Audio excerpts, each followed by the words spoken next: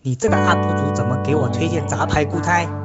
什么杂牌固态啊？不可能的。你跟我说一下这个铠甲是什么东西？嗯，好吧，怪我当时没有说清楚。其实铠甲就是东芝存储，因为早在去年的十月份，东芝存储就宣布要正式更名为铠侠，并且在二零二零年完成所有产品的更名。那我们现在去那些各大电商平台上看的话，已经全部都是铠侠的固态了。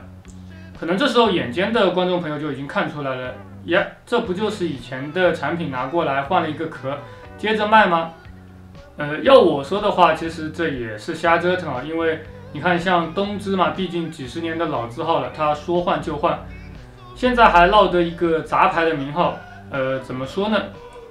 当然，以上只是我一个个人的调侃啊，而作为消费者来说呢，我们只想知道这个改名后的东西它到底好不好用。所以呢，我就搞来了一块 RC 一零的五百 G 来测一测，顺便跟大家一起来看一看改名之后的东芝存储到底行不行。这块 RC 一零的包装非常的简单啊，就是一个破纸壳子，然后在它背面呢是印有一些硬盘的基本信息和参数。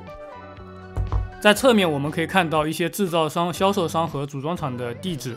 嗯，在这边的话，我们可以看到组装厂居然是金士顿科技上海有限公司。下面我们就来进行开箱。其实盒子内部的东西没什么好讲的，大部分固态硬盘都是这么几样：几张没用的说明书和一个硬盘的本体。嗯，把硬盘从盒子里面拿出来，我们可以看到这个硬盘是不是有点眼熟？我们可以看到在主控上打着大大的东芝标志啊，它的具体型号为 TC 五八 NC 一二零二 GST。嗯，这个主控芯片的话，跟 RC 五百上面那个是一样的。东芝自己的颗粒嘛，也没有什么好讲的，还是直接来上机看一看好了。上机之后，从 Disk Info 的软件信息当中可以看到，这块硬盘是跑在 PCIe 3.0乘以4的传输模式下的。那现在已经是夏天了，所以各种硬件的温度也就上去了。我个人建议，还是大家有条件的话，就给这种硬盘装一个散热片，呃，来缓解一下它在高速读写的时候的温度压力。